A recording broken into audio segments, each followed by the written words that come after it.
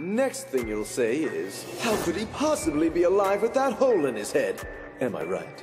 But, but how could he possibly be alive with that hole in his head?